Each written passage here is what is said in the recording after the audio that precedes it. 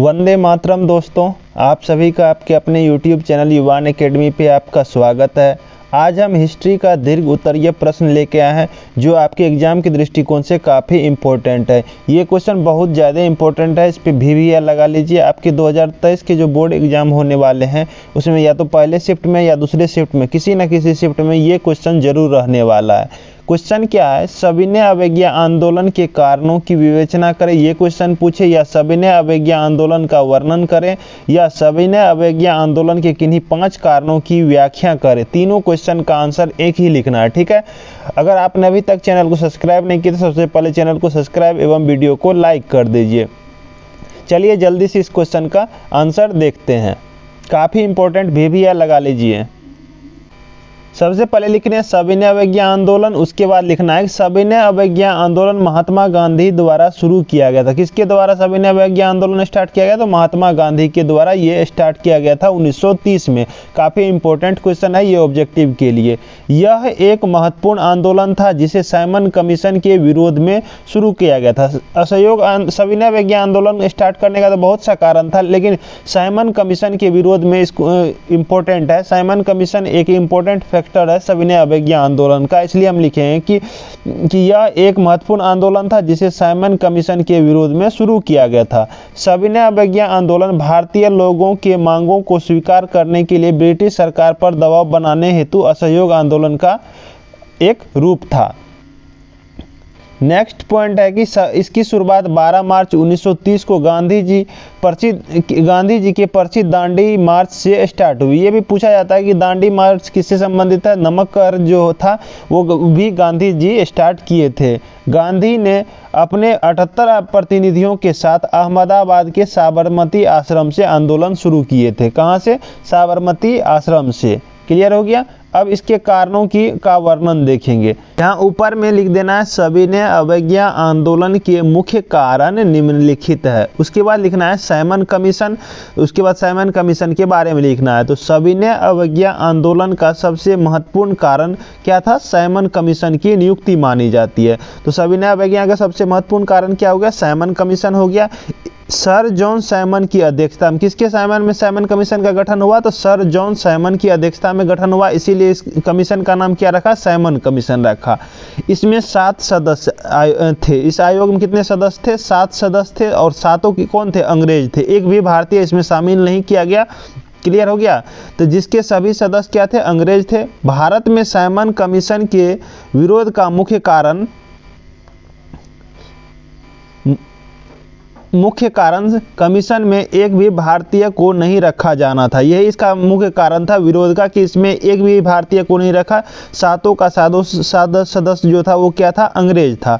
भारत में स्वशासन के संबंध में निर्णय विदेशियों द्वारा किया जाना था। इसीलिए इसका क्या हुआ? विरोध हुआ। तो क्लियर हो गया? पहला कारण इसी के कारण सविनय अवज्ञा आंदोलन स्टार्ट किए महात्मा गांधी। नेक्स्ट पॉइंट है, पूर्ण स्वराज की मांग। ये भी काफ़ी इंपॉर्टेंट पॉइंट है सविनय अवज्ञा आंदोलन के कारण में। तो सविनय अवज्ञा आंदोलन का दूसरा महत्वपूर्ण कारण पूर्ण स्वराज की मांग मानी जाती है। 31 दिसंबर उन्नीस सौ उनतीस को लाहौर के रावी नदी के तट पर पंडित जवाहरलाल नेहरू ने पूर्ण स्वराज की मांग का प्रस्ताव रखा था। तो कहाँ पे रखा था? तो लाहौर के रावी नदी के तट पर और वहाँ पर क्या करता? झंडा तिरंगा फहराया था सबसे पहले। तो कब? 31 दिसंबर उन्नीस सौ उनतीस। ये डेट भी याद रखिए, काफ़ी इंपॉर्टेंट है। प्रस्ताव रखा तथा और तिरंगे झंडे को फहराते समय कहा था कि जब तक हम अपने देश को आज़ाद नहीं कर लेंगे, तब तक चैन की सांस नहीं लेंगे। कौन कहते? जवाहरलाल नेहरू कहेंगे, चैन की सांस नहीं लेंगे। इन्हीं घटनाओं ने सभी ने अवज्ञा आंदोलन को क्या किया? जन्म दिया। तो ये दूसरा पॉइंट हो गया। नेक्स्ट पॉइंट पे चलते हैं। तीसरा पॉइंट काफ़ी इंपॉर्टेंट है। गांधी जी का समझौतावादी रुख।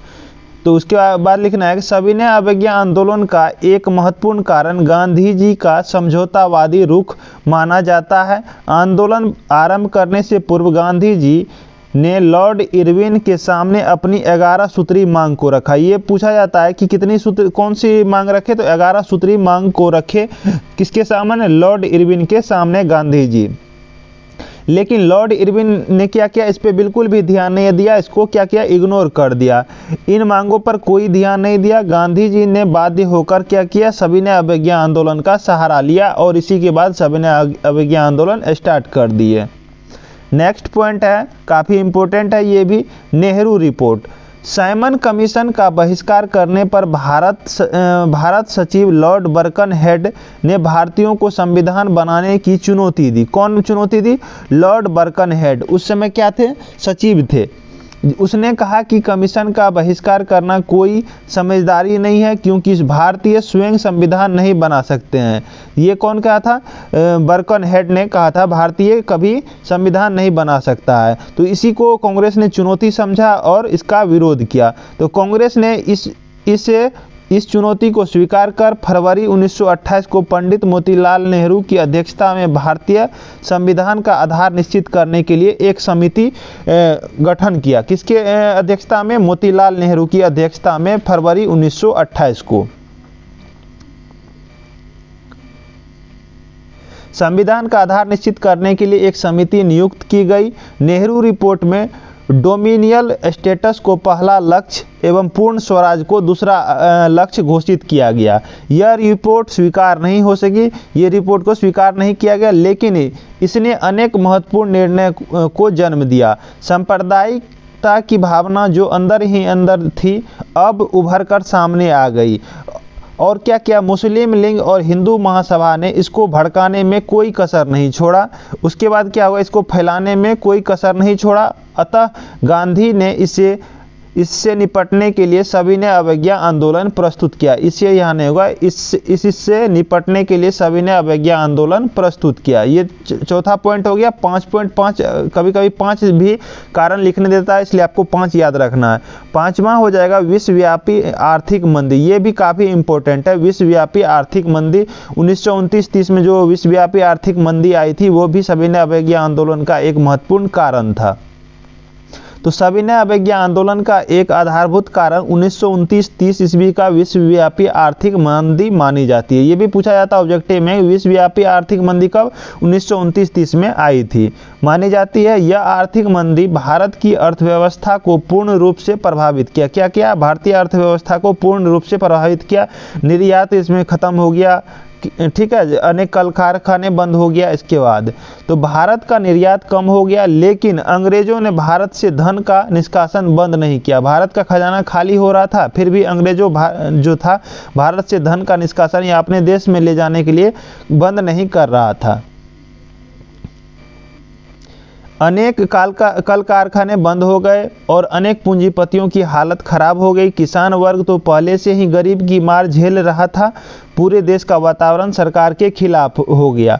गांधी जी ने इस स्थिति को निपटने के लिए सभी ने अवज्ञा आंदोलन का सहारा लिया। ठीक है तो इतना लिख दीजिएगा, आपको फुल में से दीर्घ उत्तरीय में अगर पूछा तो बिल्कुल आपको जितना भी नंबर का पूछेगा, उसमें उतना नंबर आपको मिलेगा। एक बार अच्छे से पढ़ लीजिएगा, आपको अभी बहुत बड़ा लग रहा होगा, लेकिन एक बार पढ़िएगा तो ऑटोमेटिक ये छोटा आपको लगने लगेगा। काफ़ी आसान भाषा में इसलिए अच्छे से पढ़िएगा।